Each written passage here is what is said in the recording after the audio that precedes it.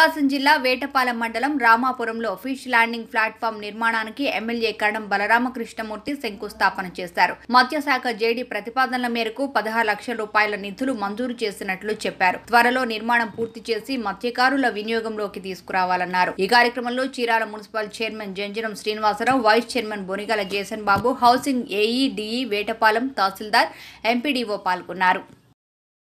ఒక ప్లాట్ఫామ్ కావాలని చెప్పి అడిగారు. సార్ మాకంతా ఒత్తిడిగా ఉంది. అటు ఇటు పోయిన కాడి నుంచి చిన్న చిన్న ఇబ్బందులు ఎదుర్కొంటున్నాం. మా సరుకులు మేము మా దగ్గరే కనుక ఉంటే మాకు ఇబ్బందులు లేకుండా ఉంటాయి. మీరు దాన్ని ఏదో గదిగా ఏర్పాటు చేసి చేయాలని చెప్పి వాళ్ళు అడగటం. నేను మా జేడీ గారి చెప్పా. సరే ఆయన పాపం డబ్బులుంటే ఎప్పుడో పెట్టేసేవాడు ఇప్పటికి వాళ్ళకి డిపార్ట్మెంట్లో డబ్బులు అంటే మళ్ళీ కొద్ది టైం అయితే కానీ వచ్చే పరిస్థితి నాకు కనపడలేదు. నేను దానికని దర్శనం ఇక స- వేసి ఎదిగితే మీరు మ- మళ్ళీ చూస్తుంటారు కదా అట్లే మా ఎంపీడీఓ దొరికాడు. నేతాజీ. నేతాజీ ఏమైనా సరే మనం వాళ్ళకి చేసి పెట్టాలి అది?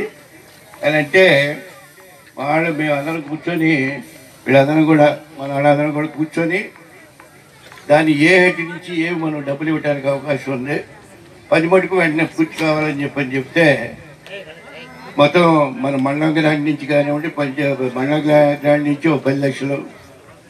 అదేవిధంగా పంచాయతీ దీని నుంచి ఒక ఐదు లక్షలు ఆరు లక్షలు మొత్తం పదహారు లక్షలు దీన్ని శాంక్షన్ చేయడం జరిగింది. అది ఈ రోజున భూమి పూజ చేసుకున్నాం. ఇక మా శాషయ్య ఆయన ఏడి మీ ఒక జై నీదైనా బాధ్యత తొందరగా చేయించేది.